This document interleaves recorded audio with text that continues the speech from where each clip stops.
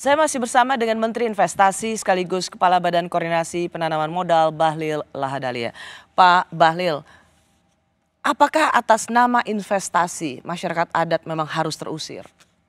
Saya pikir begini, tujuan investasi itu kan sebenarnya baik. Kita ingin investasi yang berkeadilan. Jadi penciptaan lapangan pekerjaan masyarakat juga ikut di situ. Tapi memang kalau ada master plan-nya itu perlu kita bicarakan. Nah terkait dengan tadi pertanyaan Rosi tentang uh, masyarakat di sana. Masyarakat di sana saya bagi klasifikasi menjadi tiga Rosi. Yang pertama adalah memang secara turun-temurun sudah ada. Hmm. Ada peta geospasialnya. Kemudian yang kedua adalah yang baru datang Pendatang 2004. Ya? Okay. Yang berikut juga adalah juga yang baru datang 2010. Tapi ada juga orang yang menggarap hutang-hutang lindung, yang menggarap hutang-hutang HPK di sana, tapi yang punya ini bukan di situ, Ros. Hmm. Ada juga.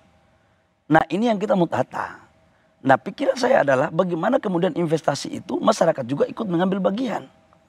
Mereka nggak boleh hanya menjadi objek, mereka juga harus menjadi subjek. Nah karena itu kita rembukkan kita ngomongan baik-baik.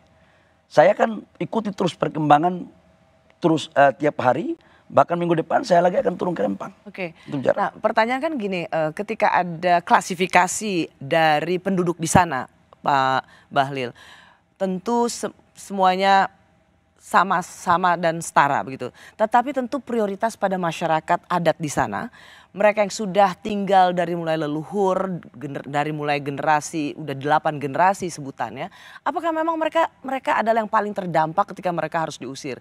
Seperti negara tidak memberikan penghormatan dan penghargaan pada masyarakat adat ini.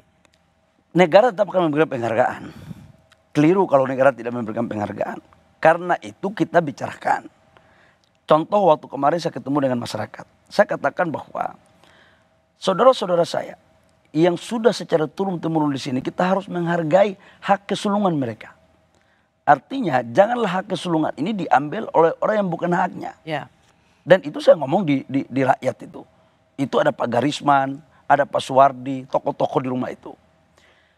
Itulah bentuk penghargaan kita Makanya kita mencari formulasi yang baik dan benar, yang tepat. Nah, kalau mereka bilang pokoknya nggak mau pindah, mereka mau tetap di sini karena mereka di sinilah mata pencarian mereka, di sinilah tempat leluhur mereka, di sinilah mereka hidup bertahun-tahun, puluhan tahun.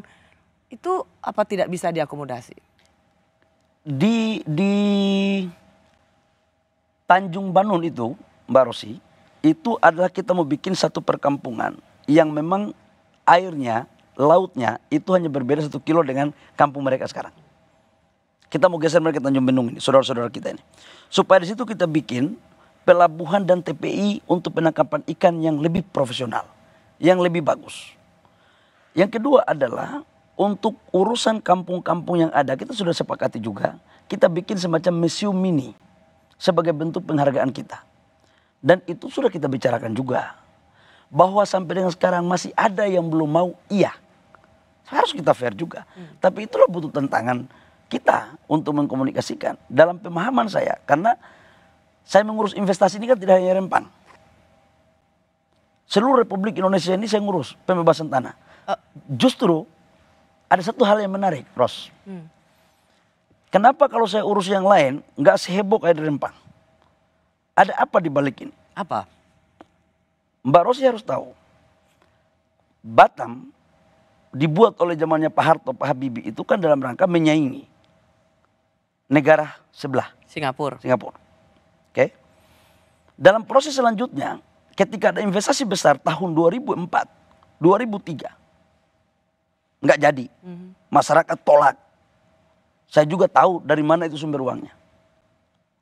2010 ada investasi besar, begitu juga.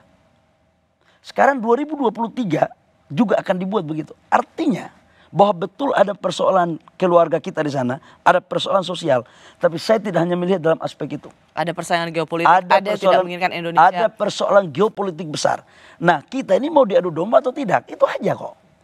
Nah, kalau kita bicara tentang wilayah, tanah di Sulawesi, di Maluku, di Kalimantan, di Jawa mengalami hal yang sama. Tapi kan bisa kita lakukan dengan baik. Kita bicarakan baik-baik semuanya. Uh, sebenarnya ketika misalnya ada negara secara geopolitik ingin mengaco atau memberikan kekacauan supaya Indonesia tidak maju, itu oke lah itu bagian dari sesuatu yang memang harus diwaspadai. Tetapi kan pemerintah pusat maupun pemerintah daerah harus mengerjakan PR-nya juga yes. supaya tidak ada free rider di sini, tidak ada oportunis-oportunis baik dari dalam maupun dari luar yang ingin mengambil keuntungan. Pak eh, Bahlil, seperti yang tadi Pak Bahlil katakan ada janji untuk mereka yang dipindahkan atau sebutannya digeser sedikit. Tapi mereka tidak melihat itu sebagai sebuah harapan yang realistis. Karena satu, mereka melihat ini belum tentu, masih hanya janji. Kedua, tidak seperti asal mereka bisa mencari nafkah. Ketika Ketiga, tidak juga ada landasan hukumnya. Keempat, uangnya belum ada. Jadi mereka melihat omongan ini hanya sebatas retorika. Yang pertama, kalau digeser, tidak mau lakukan pergeseran karena lapangan pencarian nelayan mereka. Itu saya jawab ya, Mbak Rosi. Itu di laut yang sama. Pesisirnya cuma beda satu kilo. Yang kedua kalau dia bilang tidak ada uang, ini yang jamin negara, Ros. Kan ada uang biaya hidup, biaya tunggu sampai 6-7 bulan bangun rumah, itu dibiayai per orang 1 juta 200. Per kakak 1 juta 200 untuk rumah. Jadi kalau satu kakak 4 orang, itu dapatnya 6 juta, termasuk uang rumah. Itu dikasih 3 bulan duluan di muka. Berikut begitu mereka geser, kita tentukan mereka, ini tanah kalian di mana? Pilih. Kan ada klaster-klasternya. Pilih langsung sertifikatnya dikasih. Yang berikut, ia mengelola dana ini kan dana BP Batam dan itu kemarin di atas itu sudah kita putuskan. Tidak perlu ada keraguan dengan dengan hal itu. Kalau mereka tetap tidak percaya bahwa melihat ini hanya sebatas janji-janji surga, tinggal kita tanya maunya jaminan untuk kalian percaya apa? Kalau tidak percaya percaya Tuhan aja sudah kalau begitu. Kalau tidak ada lagi yang bisa kita percaya gitu kan? Masa negara sudah hadir untuk memberikan penjelasan? Kalau perusahaan sih masih boleh nggak percaya. Masa negara nggak bisa dipercaya, Ros? Jadi yang berikut adalah menyangkut dengan hak-hak mereka. Tadi saya katakan bahwa tidak ada satu hak-hak mereka pun yang tidak kita bayar. Contoh, mereka punya tanam tumbuh, mereka punya keramba, mereka punya perahu. Itu semua dihitung berdasarkan aturan diganti. Jadi kalau mendengar penjelasan dari Pak Bahlil ini, tidak ada alasan dari mereka untuk menolak. Mereka harus mau digeser, apa pun risikonya. Menurut saya itu kosakata yang tidak pas untuk kita tempatkan pada persoalan ini. Hak-hak mereka ada, Tinggal bagaimana cara kita komunikasikan dengan baik. Karena begini Pak uh, uh, Pak uh, Pak Menteri, uh, ini saya mau masuk ke dalam uh, aksi uh, pernyataan dari juru bicara kekerabatan masyarakat adat uh, tempatan Rempang Galang yang sekali lagi dia menerima investasi tapi menolak kampungnya dihilangkan. Ini dia. tadi ada beberapa penyampaian sikap dari kami uh, selaku pengurus keramat uh, menyatakan kepada beliau bahwa kami masyarakat Rempang menerima investasi kami tidak menerima jika kampung-kampung kami dihilangkan artinya sama dengan merusak marwah harkat derajat martabat kami itu yang ada dalam batin mereka itu akan merusak marwah uh, kehidupan kami. A ada psikologi itu uh, Pak Menteri? Eh, saya kan ini namanya Pak Suwardi. Ini sahabat saya. Kemarin saya sempat berdiskusi. Awalnya juga mereka menyampaikan hal itu. Tapi kemudian ada komunikasi dua, dua, uh, dua pihak, saya sama mereka. Saya dapat memahami, saya dapat menghargai apa yang menjadi pikiran dan perasaan mereka. Dan kita fokus dari 16 kampung yang ada di Rempang itu kita dari 7.000 lebih itu hanya kita fokus ke 2.300 hektar aja sebagai proses untuk meng, uh, melaksanakan investasi pabrik kaca dan uh, solar panel ini. Jadi tidak semua kampung, Ros. Tidak semua kampung. Kita lokalisir di situ.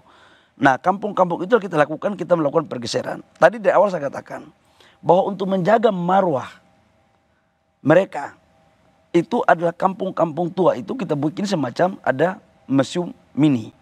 Karena itu kan jaraknya dengan kampung ini kurang lebih sekitar 3 kilo. Dan ini kita akan bikin betul-betul kampungnya kampung modern. Jadi sesungguhnya mereka juga masih di situ dan bisa melakukan aktivitas di daerah situ. Karena kalau itu kan master plan kawasan untuk industrinya itu kan di pinggir pantai. Mm -hmm. Kalau kita masukkan mereka di situ, Terus kira-kira ada kalau ada pabrik itu ada soal kebakaran atau apa, apa nggak lebih fatal? Itu lebih jauh lebih berbahaya. Itu yang saya pikir. Nah itu tadi pertanyaannya, kenapa kenapa jadi harus ha, akan memenangkan investasi, bukan memenangkan masyarakat No. adat? Justru dengan kehadiran investasi ini juga, ini memberikan peluang untuk saudara-saudara saya di sana untuk ikut mendapatkan lapangan pekerjaan.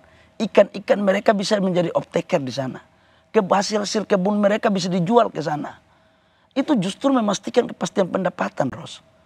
Tidak ada tidak ada sebuah wilayah di di mana pun apabila belum ada investasi masuk, kemudian akan melakukan pertumbuhan ekonomi yang baik.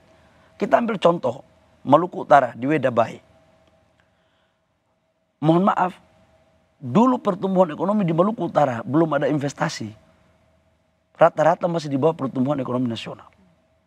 Tapi begitu terjadi begitu terjadi investasi di Wedabai untuk membangun hilirisasi nikel, pertumbuhan ekonominya di atas pertumbuhan ekonomi nasional, 27 persen. Inilah sebagai contoh-contoh kecil yang kita ingin juga melakukan di tempat lain. Dan selain dari persoalan itu adalah anak-anak mereka, saudara-saudara kita di sana, itu dia akan masukkan di SMK khusus. Oke, Pak. Untuk kemudian mereka mendapatkan manfaat dari keberadaan investasi. Itu. Jadi nggak benar kalau dibilang bahwa kita Atas nama atas nama investasi. investasi. Justru investasi itu meningkatkan taraf hidup mereka bersama-sama. Pertanyaan saya berikutnya Pak Bahlil. Proyek strategis nasional di Rempang ini seolah-olah mendadak muncul di tahun 2023 dan di belakangnya ada nama pengusaha Tommy Winata. Benarkah pengerahan pasukan ini hanya demi untuk mengamankan proyek pengusaha tersebut?